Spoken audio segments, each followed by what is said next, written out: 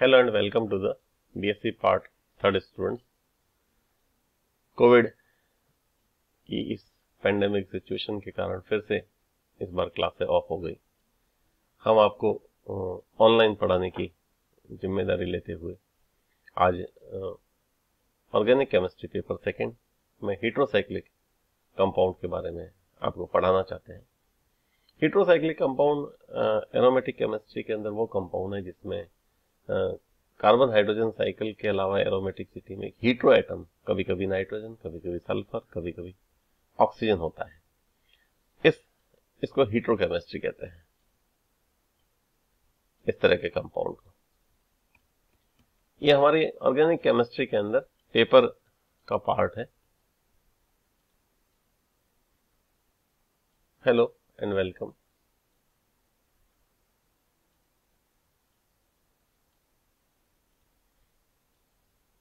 hello and welcome हम अभी recording बीच में रुक गई थी।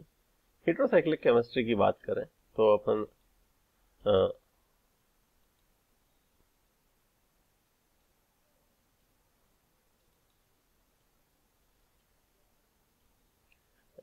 मैं सबसे पहले हीट्रो कंपाउंड्स uh, के बारे में बताता हूँ। कई तरह के हीट्रो कंपाउंड्स होते हैं।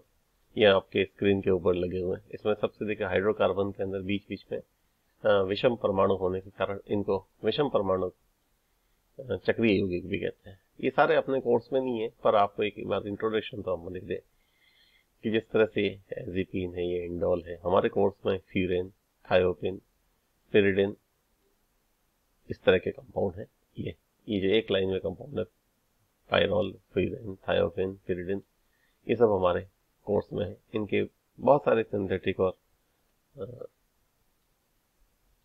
क्या कहते हैं उसको मेडिसिनल यूज़ होते हैं।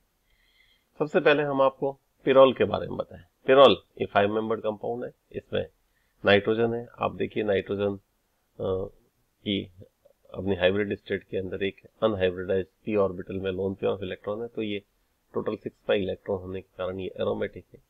But nitrogen is in sp2 hybrid orbital pyrrole चार कार्बन एक नाइट्रोजन है। सभी sp2 हाइब्रिड स्टेट में sp2 हाइब्रिडाइजेशन इज़ प्लेनर होता है।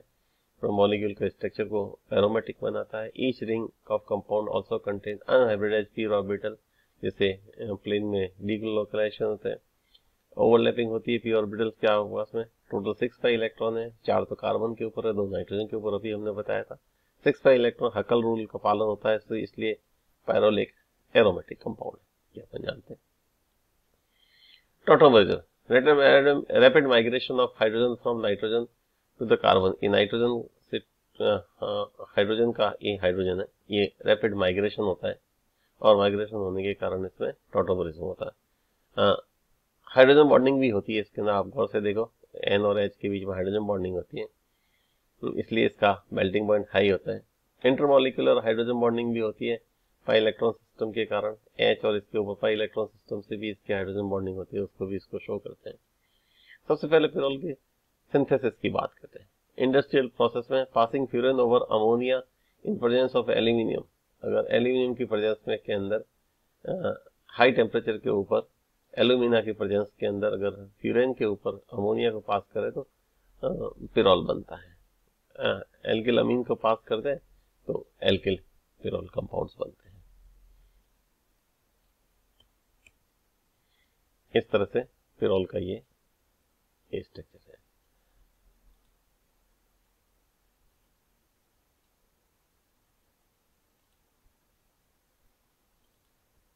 नेक्स्ट स्ट्रक्चर है।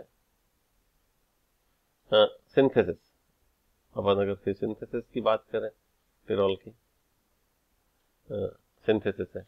पाल नोर सिंथेसिस है। One four di carboxylic compound को अगर अमोनिया के साथ गर्म करें तो प्राइमरी अमीन और प्राइमरी अमीन के साथ गर्म करके पिरोल बनता है। Mechanism successive nucleophilic addition of the amine nitrogen to each of the two carbon carbon atom imine formation and dehydration result in the course of this Paal Knorr synthesis का ये mechanism है। Mechanism आपके course में बहुत ज़्यादा नहीं है but मैंने सोचा कि इसको भी आपको शेयर किया जाए। सिंथेसिस एक दूसरी और सिंथेसिस है heads pyrrole synthesis reaction of alpha haloketone alpha haloketone लिए हमने। और बीटा हेलोकीटोन लिए, उसकी अमोनिया के साथ गर्म करें तो ये आपके पिरोल का के डेरिवेटिव बनते हैं। मैकेनिज्म भी है इसका अमोनिया के साथ इमीन बना और फिर सिंथेसिस के अंदर ये इस तरह से पिरोल का डेरिवेटिव बन गया। नोर सिंथेसिस ये एग्ज़ाम में आता है, बहुत इंपॉर्टेंट है। एल्फा अमीनो कार्बोनिल कंपाउंड लिए। और इलेक्ट्रॉन विड्रॉइंग ग्रुप है इसमें ester, alpha carbonyl compound, activated ketone से इसकी रिएक्शन कराई और के कंपाउंड बने। इसका भी मैकेनिज्म है, बहुत इंपॉर्टेंट मैकेनिज्म है ये। अच्छा ये अपने कोर्स में भी है और ये पिरोल के सिंथेसिस होती है।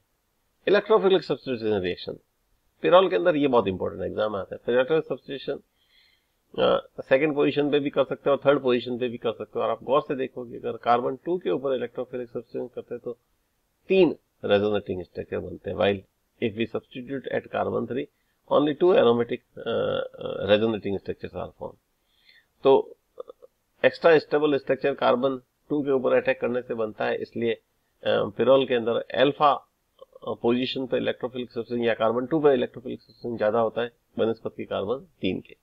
आप एनर्जी प्रोफ़ाइल डायग्राम से भी देखेंगे कार्बन टू पे अटैक होता है तो लेस एनर्जी स्टेबल कंपाउंड बनता है बनस्पत की कार्बन तीन के। इलेक्ट्रोफिलिक सब्सटीट्यूशन रिएक्शन कराई इसकी।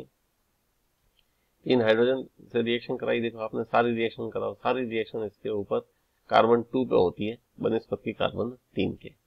ये इसमें समझाने की कोशिश की गई। रिडक्शन किया हमने अलग अलग तरह से अगर माइल्ड रिडक्शन करते हैं तो दो हाइड्रोजन लगती है, ज़्यादा करते हैं तो चार हाइड्रोजन टिमन रिएक्शन बहुत इंपॉर्टेंट रिएक्शन है। डाइक्लोरोकार्बिन का एडिशन होता है कार्बन टी के ऊपर और एल्डिहाइड बनता है और बाद में इसकी अगर वापस वाटर से रिएक्शन करा दी जाए तो ये फाइव मेंबर से six member compound two chloropyridine में भी कन्वर्ट होता है।